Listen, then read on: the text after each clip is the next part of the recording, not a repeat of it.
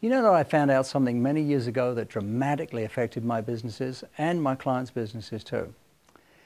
You can't do it alone. Frankly, no one ever has done it successfully without a whole bunch of people helping them.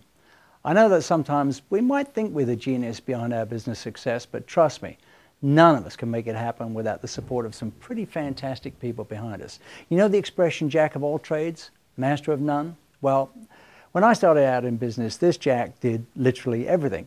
But as the business got bigger, I was lucky enough and humble enough to know when the time came to hire other people to do those jobs for me. And here's the trick. Make sure you hire people who are a whole lot better than you are at doing those jobs. Leave your ego in the parking lot. Work for me.